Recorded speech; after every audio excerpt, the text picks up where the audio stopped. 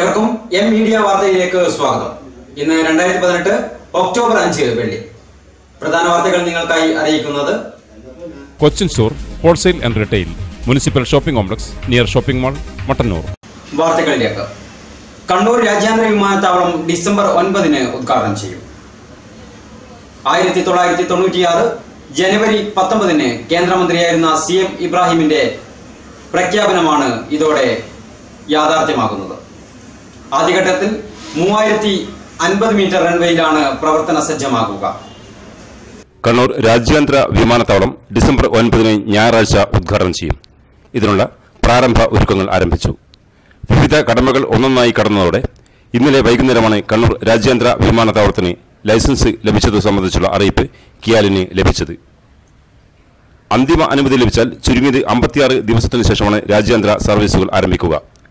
രാജ്യാന്തര സർവീസിനുള്ള ഷെഡ്യൂളുകൾ ഓരോ ഇരുപത്തിയെട്ട് ദിവസത്തിലും പുറത്തിറക്കും ഒക്ടോബർ പതിനൊന്ന് നവംബർ എട്ട് തീയതികളിലെ ഷെഡ്യൂളുകൾ ഇതിനകം പുറത്തിറക്കി.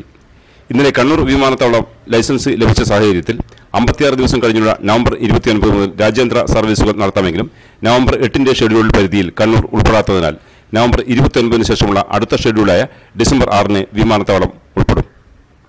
ഈ സാഹചര്യം കൂടി പരിഗണിച്ചാണ് രാജ്യാന്തര സർവീസ് ഉൾപ്പെടെ ആരംഭിച്ചുകൊണ്ട് ഡിസംബർ ഒൻപതിന് കണ്ണൂർ വിമാനത്താവളം ഉദ്ഘാടനം ചെയ്യും എന്ന തീരുമാനം. ഡിസംബർ ആറിന് ശേഷം അടുത്ത വർഷം അടുത്ത ഷെഡ്യൂൾ ജനുവരി മൂന്നിനായിരിക്കും. രണ്ടായിരത്തി മുന്നൂറ് ഏക്കറിലാണ് വിമാനത്താവളം ഒരുക്കിയിട്ടുള്ളത്. പത്ത് ദശാംശം ഏഴ് എട്ട് ലക്ഷം ചതുരശ്ര അടി വിസ്തൃതിയിലാണ് ആധുനിക ടെർമിനൽ സ്റ്റേഷൻ സജ്ജീകരിച്ചിട്ടുള്ളത്.